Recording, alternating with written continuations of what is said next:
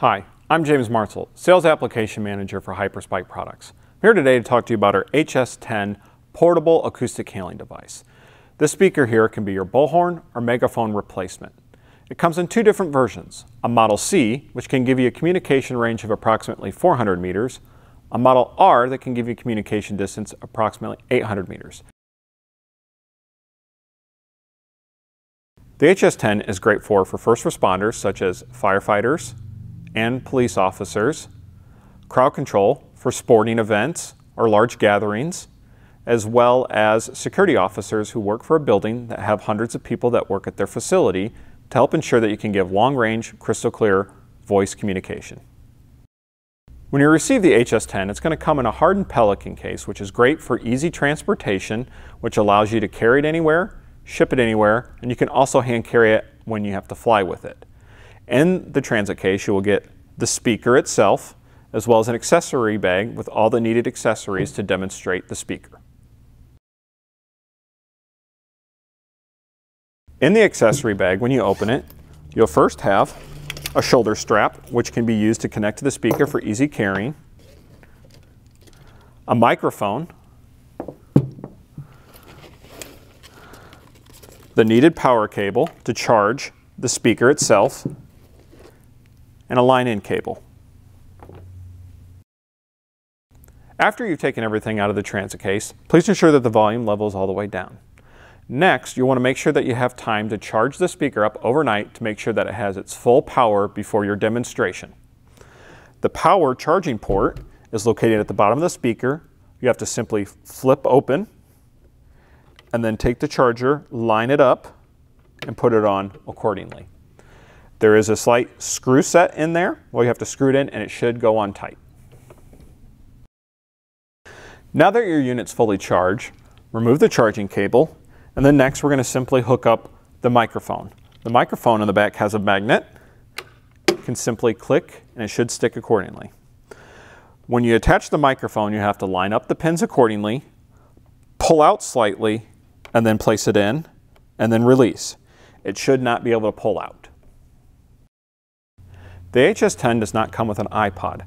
However, you can actually play audio tracks through the speaker with its available line-in cable through the available HyperSpike mobile application. This gives you full control of the speaker. Simply take the 3.5 millimeter audio jack, place it in, and take the other end and plug it into your accordingly smartphone device or iPod.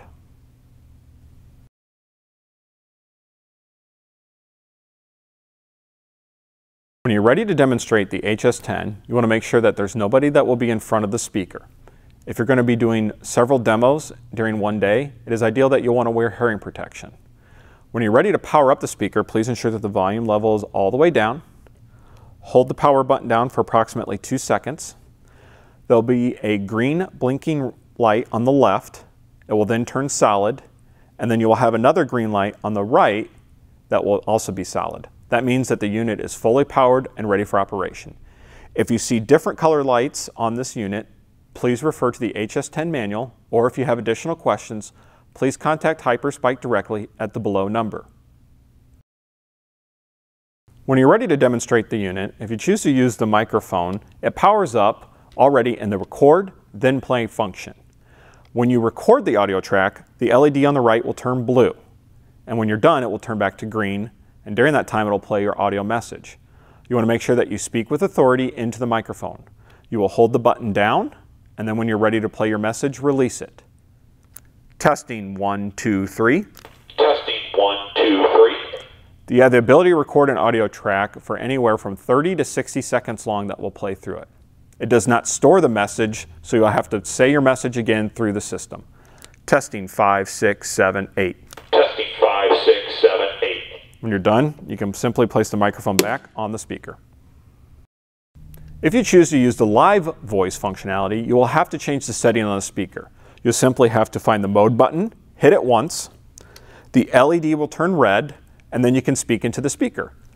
All you have to do is hold down the button and then release when you're done.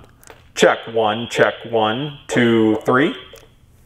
If you want to go back to the record, then play function, simply find the mode button and hit it one more time the LED will go back to green. If you choose to use your smartphone device to control the unit, please ensure that the line cable is plugged in both to the speaker and to your phone. With the available HyperSpike app, you can select the audio track, play alert tone, or record a message and then play it all right there from your phone. Or you can use a corresponding iPod to play a predetermined track that you so desire. For attending today's demonstration of acoustic hailing devices. When you grab the top of the speaker, be aware that there is a red button on top. The red button plays the integrated alert tone track. You just have to push it in ever so slightly and it will play an audio track. Then release to stop. Please note, when you're powering it off an iPod or a smartphone device, that the speaker very quickly can go from no power to approximately 80% power very quickly. So if you're getting voice messages that are not coming through clearly, you either need to turn up the volume on your iPhone or on the unit.